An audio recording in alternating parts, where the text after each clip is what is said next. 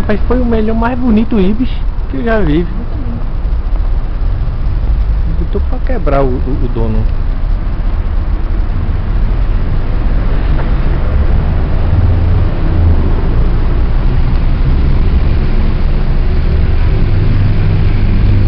Hum.